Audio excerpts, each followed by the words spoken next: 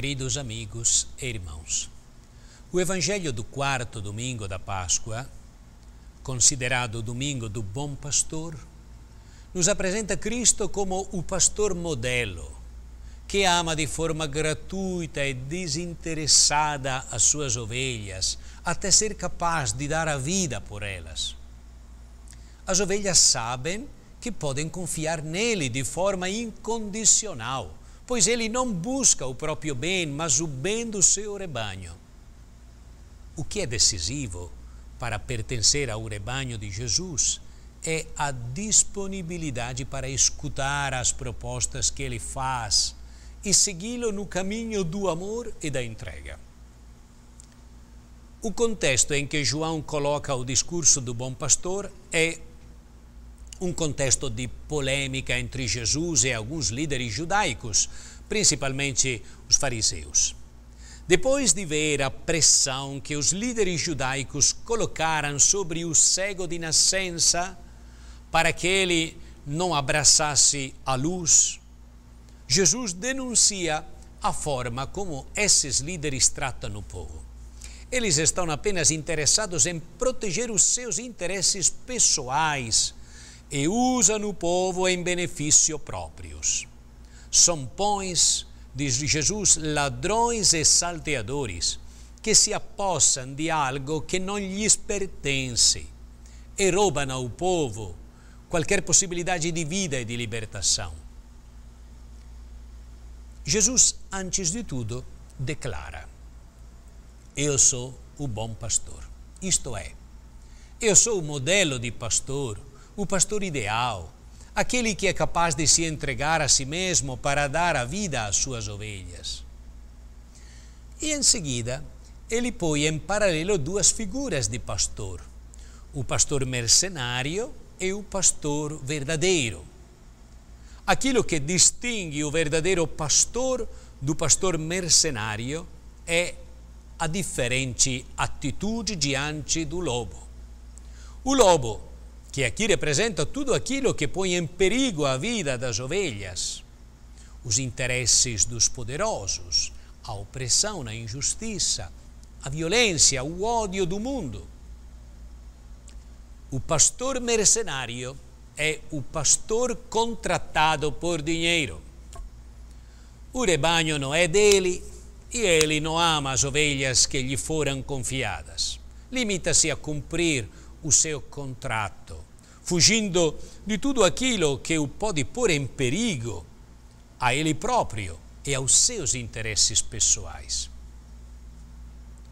Jesus é o bom pastor que nos aponta caminhos, que nos dá segurança, que está ao nosso lado nos momentos de fragilidade, que condiciona as nossas opções que é para nós uma espécie de modelo de vida.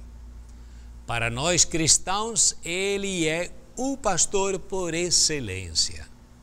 É nele que devemos confiar, é à volta dele que nos devemos juntar. São nas suas indicações e propostas que devemos seguir.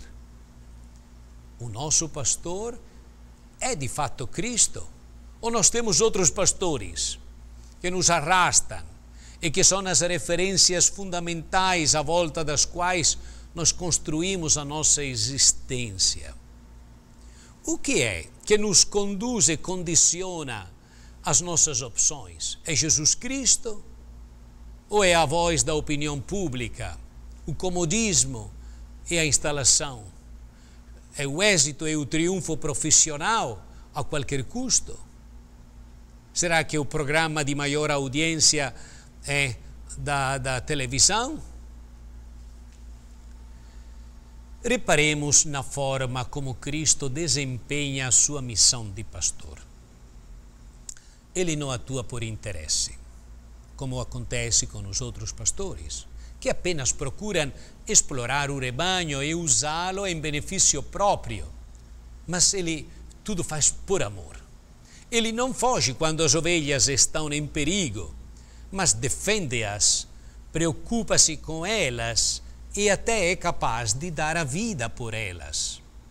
ele mantém com cada uma das ovelhas uma relação única, especial, pessoal. Conhece os seus sofrimentos, dramas, sonhos e esperanças. Por isso podemos confiar integral e incondicionalmente nele e entregar sem receio a nossa vida nas suas mãos.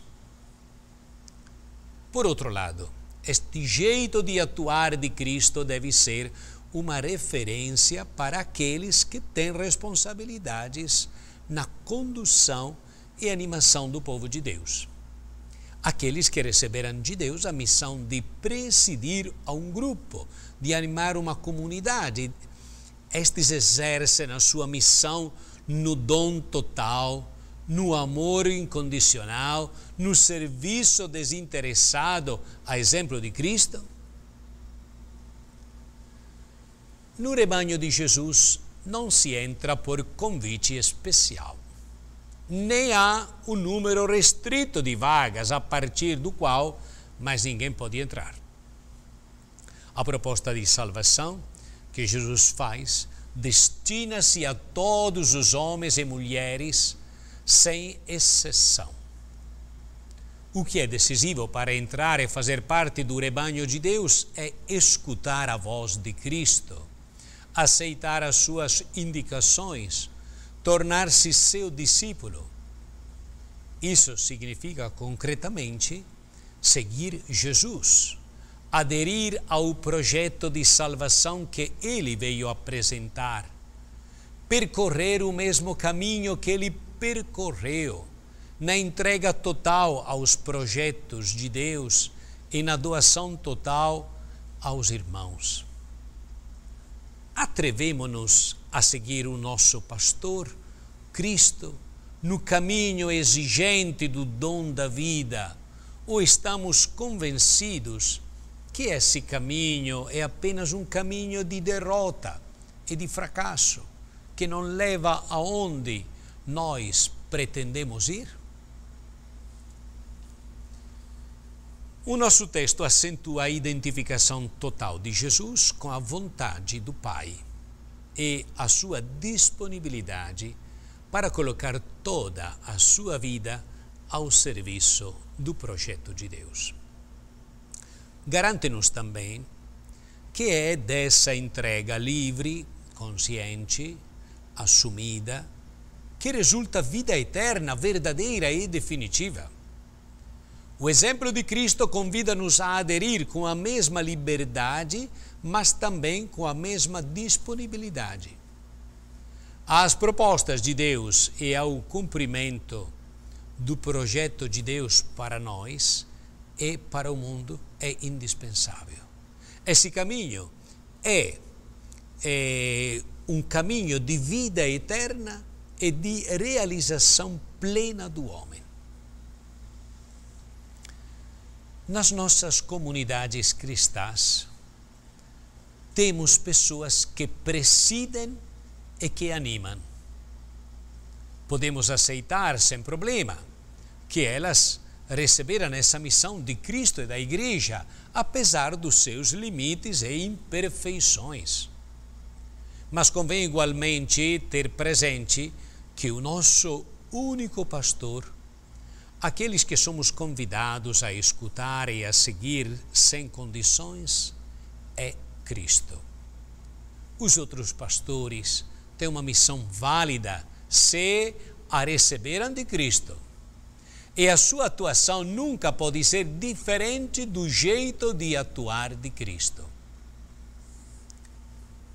Para que distingamos a voz de Jesus de outros apelos, de propostas enganadoras, de cantos de sereia que não conduzem à vida plena.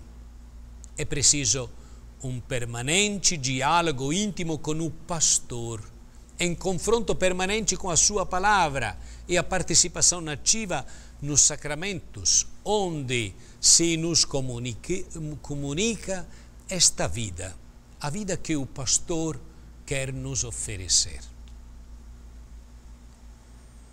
O que distingue um mercenário de um pastor é a relação que eles têm com suas ovelhas.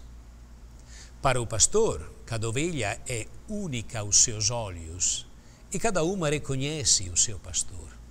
Ele está pronto a tudo para que as suas ovelhas vivam, indo mesmo ao ponto de arriscar a sua própria vida. Enfim, ele cuida mesmo das que não são do seu rebanho. Mas Jesus, que se compara a este bom pastor, dá o significado desta relação que é reflexo da sua relação com o Pai. Conheço as minhas ovelhas e as minhas ovelhas conhecem-me. Do mesmo modo que o Pai me conhece e eu conheço o Pai. Neste domingo, em que os cristãos são convidados a rezar pelas vocações, que a sua oração seja dirigida em primeiro lugar para o único pastor, Jesus Cristo. Depois, que se peça para que Ele dê à sua igreja pastores que procurem conhecer cada vez melhor os homens, amá-los e que tenham cuidado daqueles que não são ainda da igreja. Deus abençoe a todos. Em nome do Pai, e do Filho, e do Espírito Santo. Amém.